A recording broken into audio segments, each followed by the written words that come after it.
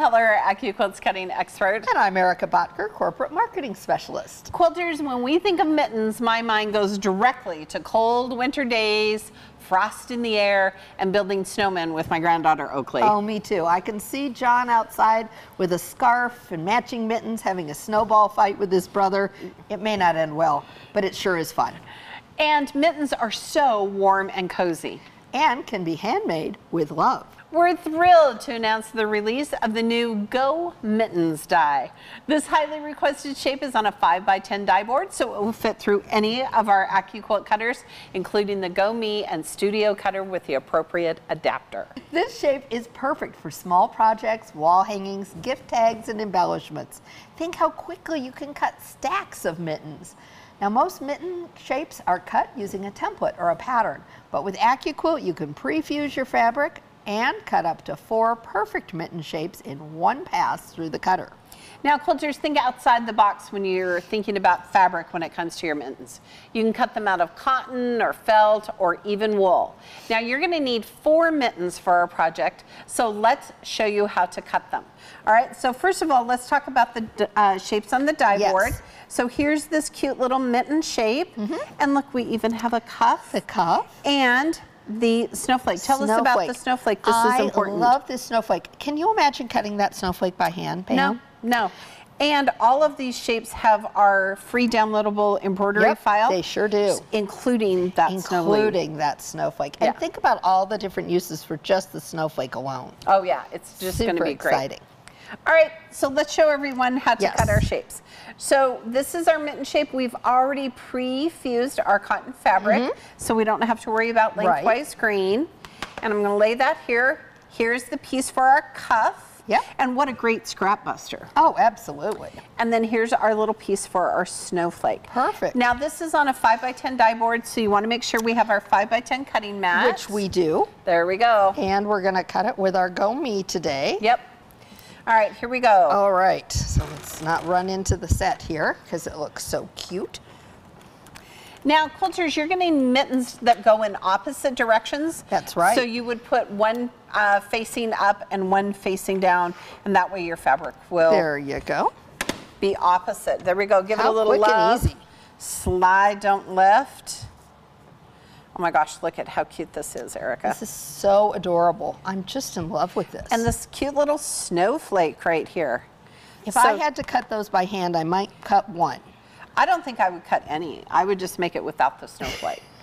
Probably. All right, well, next up, let's show everyone how to make one of the peppermint blocks for our peppermint twirl wall hanging that's hanging behind us. It's so cute. It's so cute. And I love it because it has those bright pinks and that yes. red and that pink. So actually, Erica, we're going to use our Qube to cut Perfect. these out, right? So you want to tell us what shapes that we need? We are going to be using shapes two and five.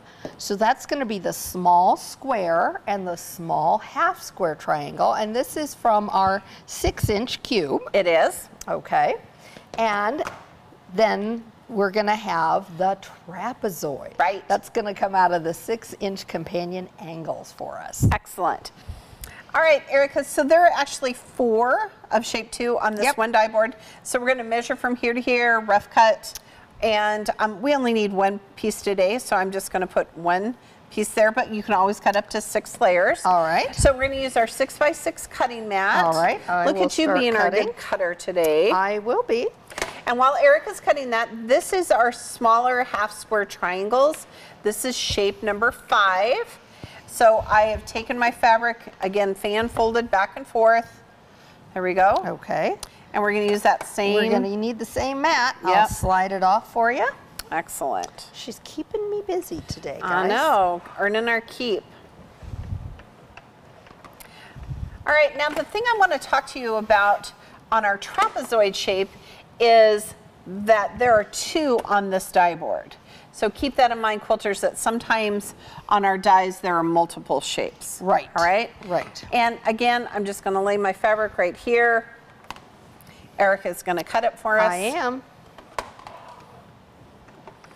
Look at how fast. This is really a fun, easy block to put together, but it's so cute. It is. And you could use any size Qube if you wanted to. We're going to Okay. use our six today. So those are going to be our four trapezoids. Yes. All right, Perfect. quilters.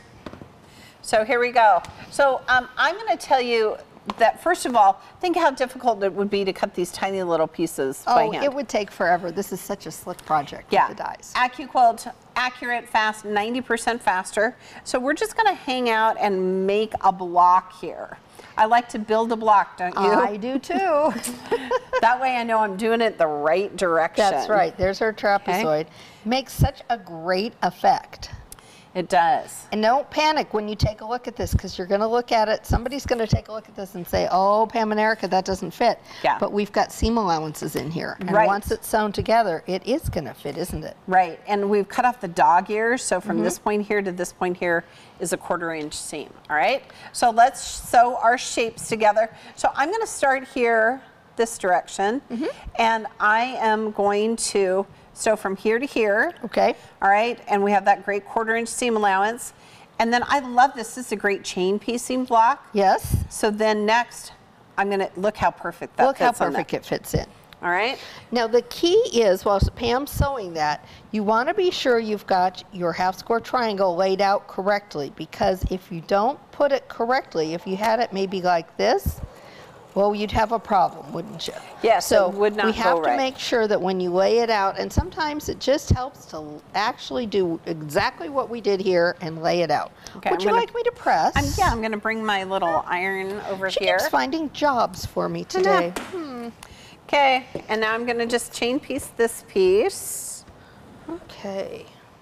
So quilters, gosh, if you're a beginning quilter, this is such a great project and super fast. It is. A weekend kind of project. And I love this colorway. I just love the pinks with the turquoise.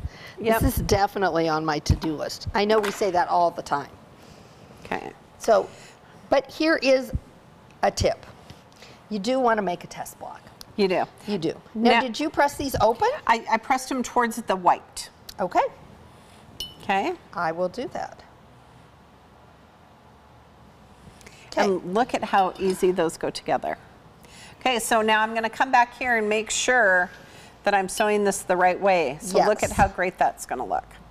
And we're just going to press this out. There we go. Perfect. Okay. All right. There you go, my friend. This. And look how fast this block is gonna go together. It is. So it's basically just a four patch. yes, over and over and over, Over again. Over and over. So when I was making our test block, I sewed all of the one side to one, and then I sewed the half square triangle Mm-hmm. to the trapezoid. I did all of them in one Perfect. fell swoop. Yeah, that's great. And then when you lay your blocks out and when you're putting them into your quilt, you want to make sure that you've got all your pieces when you're laying out your four patch. Want to make sure we've got our little propel peppermint propellers there all going the right direction, right? I like that peppermint propellers. Peppermint propellers. Okay. All right, let me give that a quick press There for you go. I'm going to press this one open. You know, when I'm working with the shapes from the six inch Qube, I press, I tend to press open.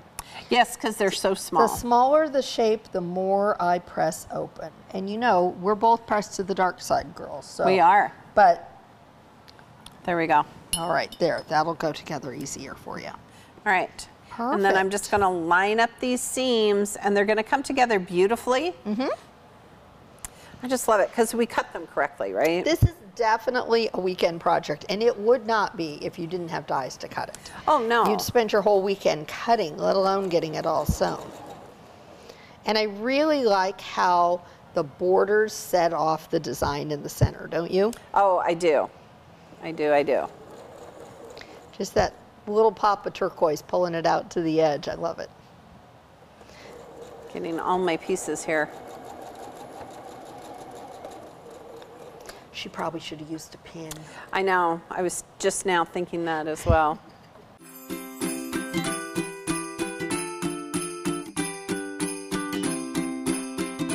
All right. There we go. Ta-da, ta-da, and there is my block. So I would give this block a really good press, Mm-hmm. and then it would be ready to go. It would be. All right, so quilters, follow the directions to finish the quilt top. Add batting and backing to sandwich the quilt.